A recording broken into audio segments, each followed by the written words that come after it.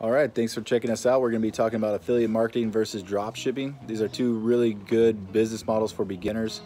Uh, one's a little better than the other if you're just starting out, and I'll explain why.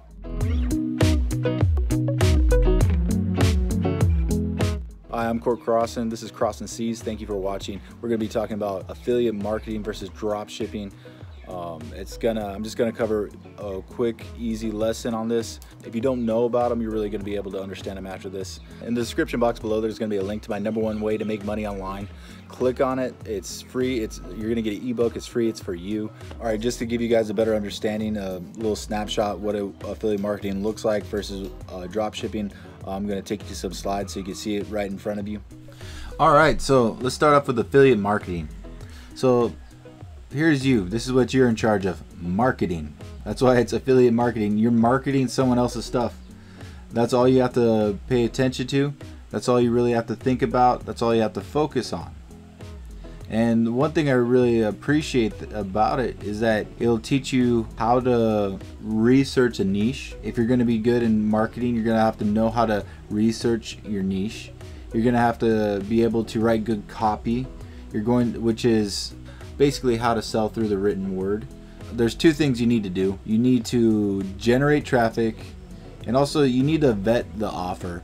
You need to make sure the offer is in line with your personal beliefs and you're not ripping people off because it's really hard to be excited about something, really hard to go to work every day and sell people an offer that you believe is trash and you're being dishonest and writing fake things. It's not the right way to do affiliate marketing and you're not going to generate a long-term income. So you are in charge of marketing. You pretty much generate the leads through paid ads or traffic, bring the leads to the offer, and then you get a commission on the sales. So affiliate marketing, all that really is, is you could generate traffic through paid ads, Google, Facebook, YouTube, or just organic traffic through blog or uh, social media, like, and then ranking your blog through SEO. Now, drop shipping is more complicated.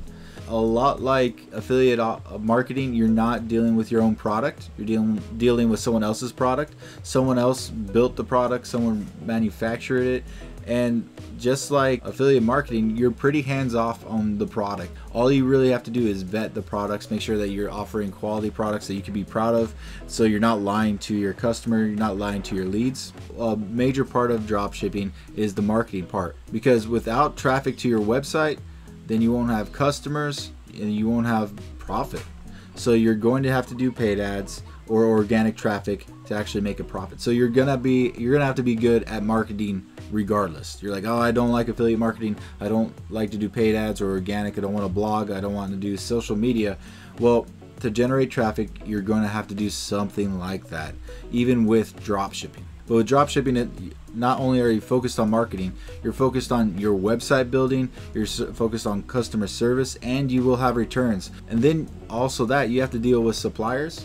So suppliers if you pick the wrong supplier, they could be either very late on their shipping, and in today's age, people want their stuff like same day delivery. So you have no control over the supply, you have no control over the shipping or the quality, and sometimes you get in touch with shady suppliers that lie to you and then they send you a sample that's real good but when they send the customer it's real bad so now with the the thing of uh, about drop shipping is you have to deal with the marketing but you also have to deal with customer service and returns and then you're gonna have to deal with suppliers. Suppliers can be your best friend or your worst enemy because they could lie to you.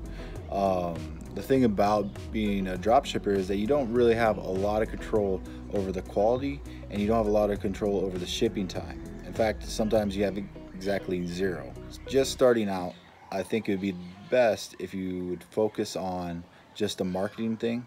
Because once you get good at marketing, you're going to be able to sell any product that you find worth your time selling and you're going to be able to do research in your niche you're going to be able to understand your customer avatar and you're going to really be able to build a lot better dropshipping business based off of that. You're going to have a targeted audience you're going to know what and how to sell things and you're going to know what to sell to who and you're going to know how to vet quality offers you're going to know how to deal with uh, objections you're going to have to you're going to be able to deal with trends you're going to know how to uh, do these little tiny things that make a huge di- difference in your business.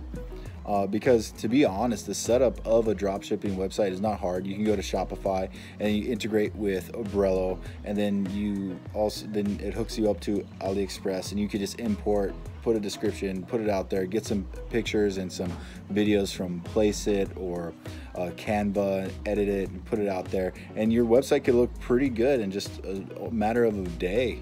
But the problem is, you, did you have a targeted audience? What who's your avatar? who's your uh, ideal customer are you going to be and how are you going to get in contact with them and so if your dropshipping store is not getting customers then it doesn't matter how good you are at choosing products it doesn't matter how good you are at building websites if no one could find that website if no one's going to that website you're not going to make sales no matter how well you are at writing copy so marketing is very important i feel like affiliate marketing will get you very good at it and also earn you a decent income.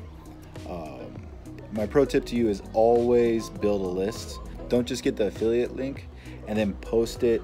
Don't get that link and then post it on like your blog or something and have them go straight there.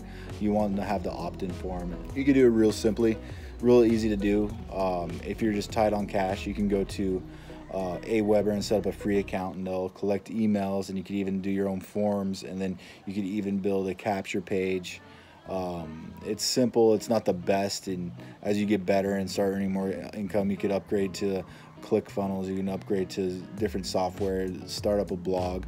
People say that blogging's dead, but it's not. Um, it's a good way to generate income because SEO is not dead. Google, you still can rank on Google for certain things. You just have to uh, know your customer avatar, know what they're searching. There's certain tools that you use that are a little expensive, but if you just put in a lot of sweat equity, you'll be able to rank your website. You got to learn a lot. Yeah, so if you're just starting off in business, if you're trying to figure out which way to go, I would suggest to go with affiliate marketing. All right, thank you for watching. Remember to like, share, subscribe. Also, in the comments below, I'll have two links. One of them is my number one way to make money online, and another one is an internet business startup kit click on those links. They're free. They're a gift from me to you. Uh, all you do is click on them, put in your name and email, and I'll be able to send them right to you, right to your inbox. Both of them together are really going to help you start your business and set you up for success. So thank you again. Again, like, share, subscribe. I really like to hear from you guys, and thank you for watching.